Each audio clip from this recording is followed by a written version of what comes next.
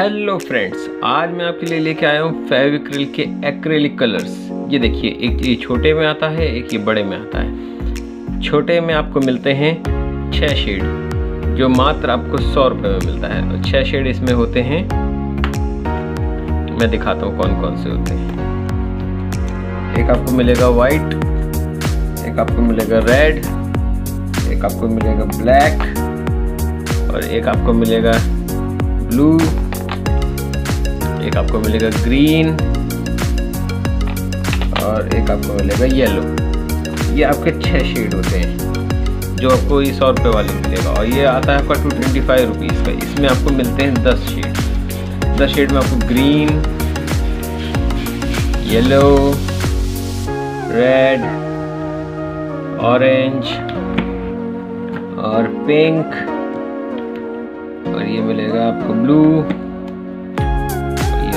मिलेगा dark green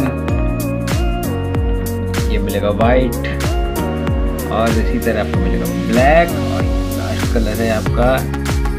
ये colour का मुझे नाम नहीं पता, इसका नाम है बर्न सियना मतलब ब्राउन कलर है। कुल मिला के आपको 225 में 10 कलर्स का आपको ये मिलेगा शेड और हंड्रेड रुपीज़ में आपको मिलेंगे छः शेड का।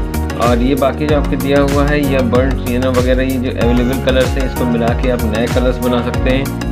और साथ में ये आपको दिया हुआ है कि कैसे कैसे आप इसको शेड मिक्स कर सकते हैं। जैसे कि अब आप इसको देखिए, आपको ऑरेंज और क्रिम्सन मिलाएँगे तो वर्मिलियन बनेगा ग्रीन और ब्लू मिलाएँगे तो टॉर्पीज ब्लू बनेगा।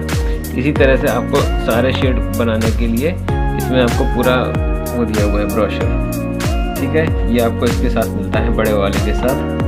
और ये कुछ इस तरह की पैकिंग होती है इसकी टू ट्वेंटी फाइव रुपीज़ में।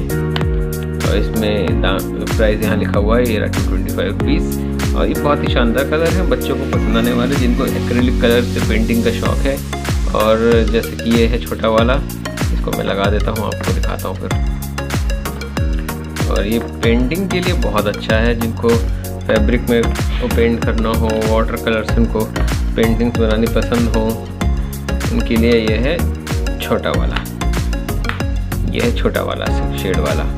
ये आपको मात्र पड़ता है हंड्रेड रुपीज़ में। और ये हैं दो तरह के जो आपके लिए अवेलेबल है मार्केट में। और ये बहुत ही अच्छा कलर है।